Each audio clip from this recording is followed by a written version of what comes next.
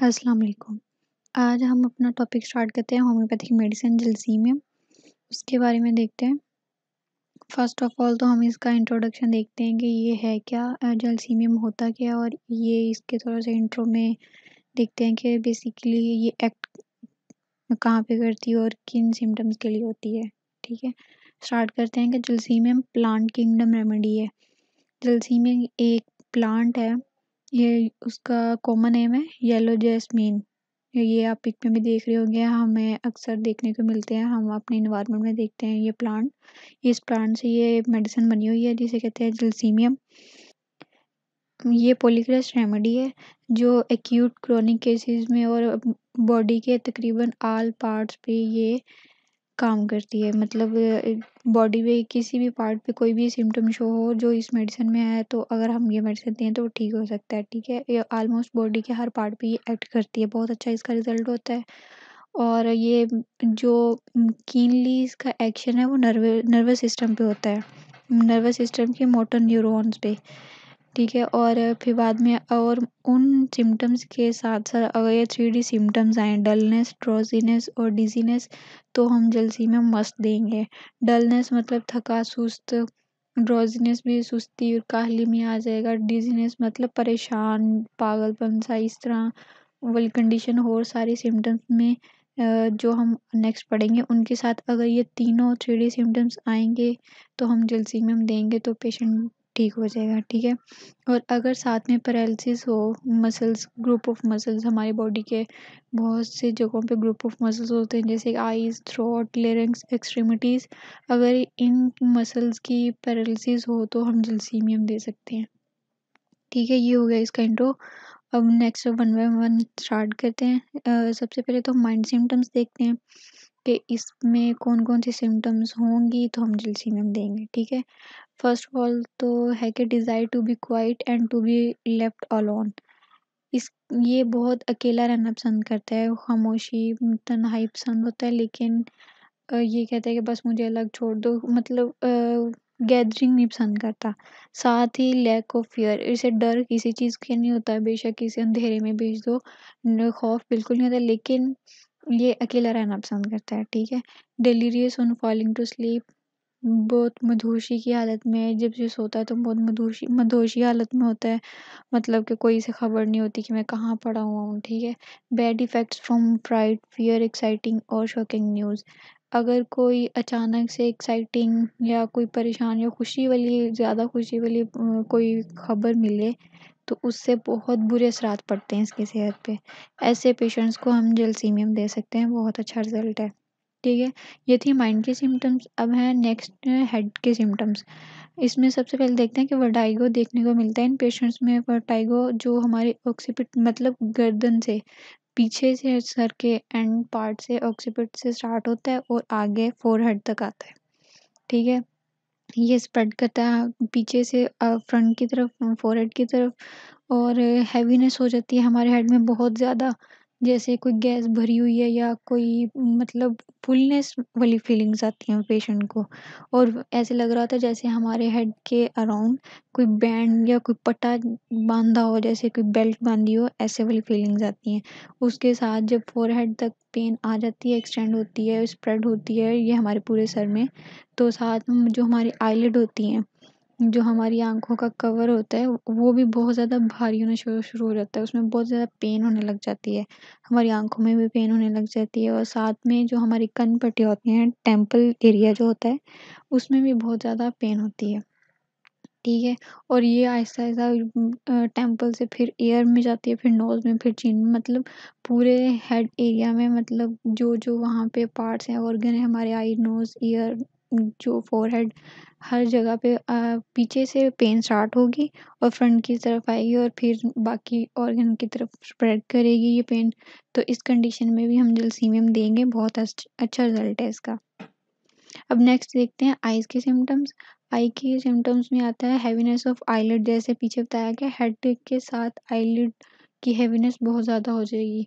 जब हेड के साथ मोस्टली आइज़ की सिम्टम मस्ट आएँगी, ठीक है? जब जैसे ही हेडेक होगा वर्टाइगो होगा तो आइज़ तो अफेक्ट करेंगी लाजमी उसमें क्या होता है कि इतनी हैवी हो जाती हैं आईलिड हमारी जो आँखों के पर्दे होते हैं इतने ज़्यादा भारी हो जाते हैं कि उन्हें खोलना भी बहुत ज़्यादा मुश्किल होता है, इतने पेन भी कर रहे होते हैं। और डिम साइटेड ब्लर विजन बहुत ज़्यादा धुंधलापन सा नज़र आता है डबल डबल चीज़ें नज़र आती हैं दो दो चीज़ें नज़र आती हैं, ठीक है, और साथ में लाइट को, लाइट के सामने वो आँखें खोलना उनके लिए बहुत मुश्किल होता है। लाइट में रहना बहुत सेंसिबल हो जाते हैं, लाइट में रहने के, ठीक है, और अब जैसे पहले बताया कि डबल डबल विजन होने लग जाती है तो उस केसेस में भी हम जलसीमियम देंगे। अब नेक्स्ट देखते हैं नोज़ के सिम्टम्स नोज़ के सिम्टम ये आ जाती हैं कि fullness at the root of nose जहाँ हमारी दो भवें जो हमारी आईब्रोज होती हैं, वो मिल रही होती हैं, वो रूट होती है नोज़ की. अगर उस एरिया में अगर हमें बहुत फुलनेस फील हो रही है और साथ में जो हमारा नेज़ल फोसा है मतलब हमारा जो अंदर वाला नाक के अंदर वाला एरिया अगर वो हमें बहुत ड्राई ड्राई फील हो, लेकिन जो नोज़ की जो रूट है, वो हमें बहुत फुलनेस वाली फीलिंग्स दे। और उसके साथ क्या हो कि बहती नाक हो, पानी की तरह बहती नाक हो, उसका पानी जो इतना ज़्यादा ख़राश वाला हो कि जहाँ जहाँ वो पानी लगे मतलब छीलता जाए हमारी स्किन को, ठीक है? और साथ में क्या होगी, उसी पानी की वजह से जो वाटरी नोज़ हमें रनिंग नोज़ होगी, हमारी उसके साथ हेडेक होगा और उसके बाद फीवर हो जाएगा। अगर ये सारी सिम्टम्स एक साथ आ रही हैं तो आप जलसीमियम दें। बहुत बहुत अच्छी रेमेडी है इस चीज़ के लिए। ठीक है, और ये थी नोज़ की सिम्टम्स अब देखते हैं फेस की सिम्टम्स फेस के सिम्टम ये आते हैं कि हॉट हैवी फ्लश फेस होता है। बहुत ज़्यादा ठीक है, और जो फेस के जो मसल्स होते हैं न्यूरेल्जिया फेस के मसल्स को कहते हैं, अगर उनमें भी पेन हो तो भी हम जल्दी में देंगे फेशियल मसल कॉन्ट्रैक्ट कर जाते हैं स्पेशली अराउंड माउथ जो हमारा मुँह का एरिया है, ठीक है, उनके इर्द जो मसल्स होते हैं बहुत ज़्यादा सुकड़ जाते हैं। चिन भी बहुत ज़्यादा हमारी थोड़ी होती है, वो भी उसके मसल कॉन्ट्रैक्ट कर जाते हैं और नीचे की तरफ़ लोअर जा ड्रॉप हो जाते हैं। नीचे वाला एरिया हमारा जो जबड़े वाला एरिया होता है, वो बहुत मतलब कॉन्ट्रैक्ट और ड्रॉप एरिया हो जाता है वो वाला। ठीक है, उस कंडीशन में भी हम जलसीमियम देंगे। ऐसे पेशेंट्स को। ठीक है, और नेक्स्ट है माउथ के सिम अब माउथ के सिम्टम्स देखते हैं। इसमें क्या है कि सबसे पहले तो बताया कि बहुत अजीब सी स्मेल गंदी स्मेल पुट्रिक बहुत गंदी स्मेल को कहते हैं। अगर हमारे सांस में से और हमारे टेस्ट में अगर वो स्मेल आ रही है और साथ में जो हमारी ज़ुबान है बहुत ज़्यादा थिक और येलोइश कलर हो उस, हमारी ज़ुबान का और साथ में काम प्रयोग बहुत ज़्यादा जैसे हमारे कंट्रोल में नहीं है पैरालिसिस हो गए मसल्स के फीलिंग आए हमें ऐसी पेशेंट्स को मतलब उस पेशेंट को ऐसी फीलिंग्स आए, बहुत गंदे वाला टेस्ट हो तो भी हम जलसी में मिलेंगे और ये उसका टेस्ट भी ठीक हो जाएगा और बाकी उसका कलर भी ठीक हो जाएगा। ठीक है, अब देखते हैं थ्रॉट के सिम्टम्स डिफ़िकल्ट स्वेलिंग कोई भी चीज़ निगलने में उसे बहुत ज़्यादा मुश्किल आती है। ऐसे पेशेंट्स को कि उनके थ्रोट में बहुत ज़्यादा इश्यू हो जाता है, टॉन्सिलाइटिस, इन्फ्लेमेशन हो जाती है, जो थ्रोट के जो मसल्स होते हैं, ठीक है? और ये पेन हमारे कान तक एक्सटेंड करती है, जो हमारे ईयर्स होते हैं, वहाँ तक शूटिंग पेन होती है। बहुत ज़्यादा तीखी होती है ये दर्द, ठीक है? और फिर बाद में क्या होता है, जो हमारे टॉन्सल्स होते हैं, बहुत ज़्यादा स्वेल हो जाते हैं। इसकी वजह से हमें खाना खा पेशेंट्स को खाना खाने में बहुत ज़्यादा मसला होता है। कोई भी चीज़ निगलने में पानी हो या कोई खाने वाली चीज़ हो तो भी उसे बहुत ज़्यादा इशू होता है इस चीज़ में तो भी हम जलसी में हम देंगे। अब नेक्स्ट है स्टमक सिम्टम्स इसमें आता है कि ऐसे पेशेंट्स को प्यास नहीं लगती और हिचकी उन्हें बहुत ज़्यादा रहती है स्पेशली शाम के टाइम ज़्यादा हो जाती है। ठीक है? एक तो प्यास नहीं लगती, ऊपर से हिचकी है ऐसे पेशेंट्स को और शाम में वो ज़्यादा हो जाए और जो उसका स्टमक में उसे उसमें फीलिंग्स आए कि खाली खाली डूब रहा है जैसे उसका दिल डूब रहा है उसके स्टमक में जो भी चीज़ है वो बहुत आ, मतलब खालीपन सा फील करे और ऐसे लगे कि पेट में जैसे कोई हैवी लोड रखा हो। जहाँ दर्द हो रही है वहाँ ऐसे लगे जैसे कोई ना बहुत भारी सी चीज़ रखी हो और दर्द हो रही हो। ऐसी कंडीशन में हम जलसीमियम देंगे। ठीक है अब देखते हैं कि स्टूल का करेक्टर कैसा होगा उस पेशेंट का।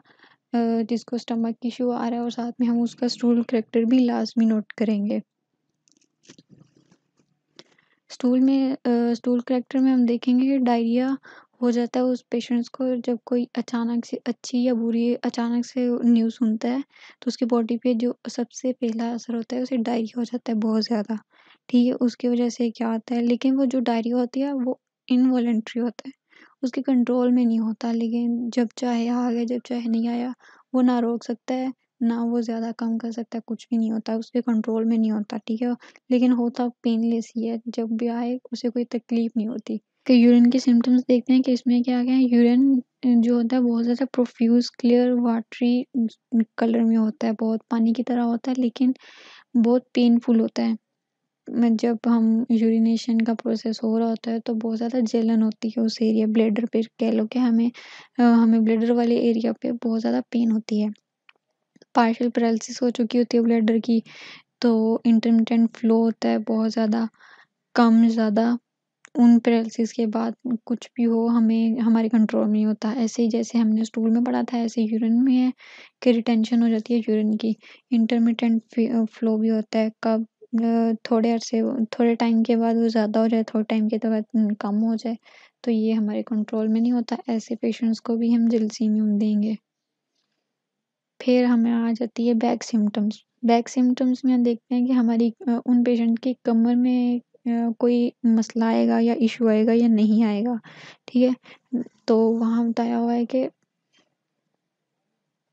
तो यहाँ पे देखते हैं कि स्वेयर जो होगी, पेन होगी बैक में। लेकिन डल होगी हमें क्लियर पता नहीं चलेगा कि वो लोकेशन कौन सी है। हमारी बैक पे अपर पोर्शन पे हो रही है, नीचे लेफ़्ट पोर्शन पे हो रही है, कहाँ पे हो रही है। एग्जैक्ट जगह नहीं मिलेगी पॉइंट नहीं मिलेगा कि बैक पे पेन हो, कहाँ पे रही है। ठीक है? डल पेन होगी मसल्स फील ब्रेस मसल बहुत ज़्यादा वीक और जैसे दर्द से भरे हुए महसूस होंगे। और हमारी बैक हिप और लोअर एक्सट्रीमिटीज़ की जो मसल है, उनमें भी पेन होगी और उसके बाद every little exertion cause fatigue और अगर छोड़, थोड़ा सा भी कोई काम करें तो बहुत जल्दी वो इंसान थक जाए तो भी हम उसे जलसी में मिलेंगे। मतलब उसे बैक पेन होगी बहुत ज़्यादा, लेकिन हो कहाँ रही है, ये भी नहीं पता होगा।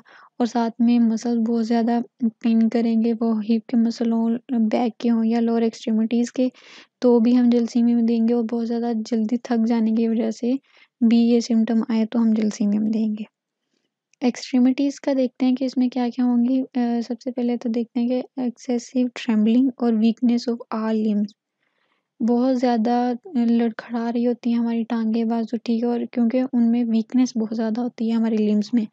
और उसके बाद कहते हैं फिटीक आफ्टर स्लाइट एक्सरसाइज थोड़ी सी एक्सरसाइज करेंगे तो वो थक जाएँगे। थक, थकावट हो जाएगी बहुत ज़्यादा।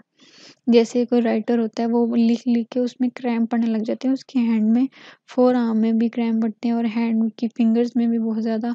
तो उस कंडीशन में भी हम जलसीमियम दे सकते हैं cramp in muscle of forearm loss of power of muscular control हमें मस्कुलर कंट्रोल नहीं रहता, वो पावर हमारे पास ख़त्म हो जाती है क्योंकि बहुत ज़्यादा वीकनेस होने की वजह से वो पावर ख़त्म हो जाती है तो इस कंडीशन में भी हम जलसीमियम लेंगे ठीक है?